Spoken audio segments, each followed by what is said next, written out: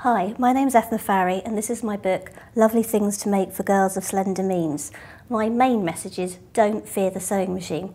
Even though you may think in your head that sewing is a nightmare and you need loads of high-tech skills, you don't. You can make things with a lo-fi way for not much money, which will be the envy of all your friends, and you get to use loads of sequins. What could be better?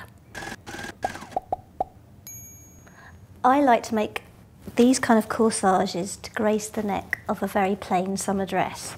They look very, very intricate, but actually they're just made out of a series of circles. What you need to start is a piece of nice fabric, a handy compact disc which you're going to use as your template, a piece of tailor's chalk, and then you get drawing.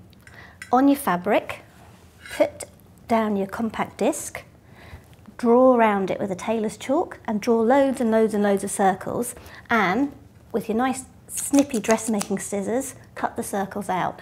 Um, I'm estimating that you need a minimum of about 26 but if you want a bigger corsage with more sort of puffiness cut out more circles.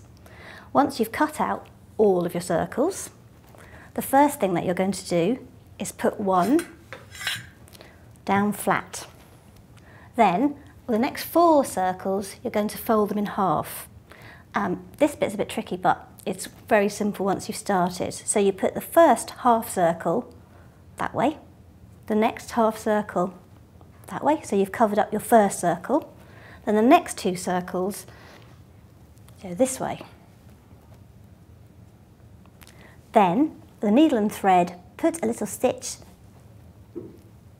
at the heart to keep those little um, semicircles in place.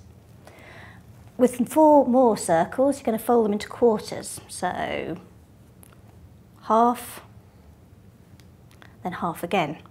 With these four circles, you're going to kind of rotate them on the circle.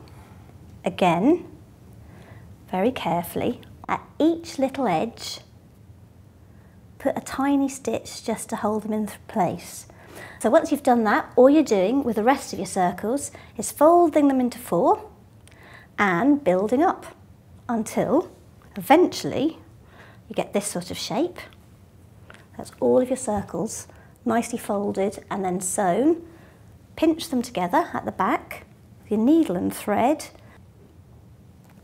Put a few stitches through like this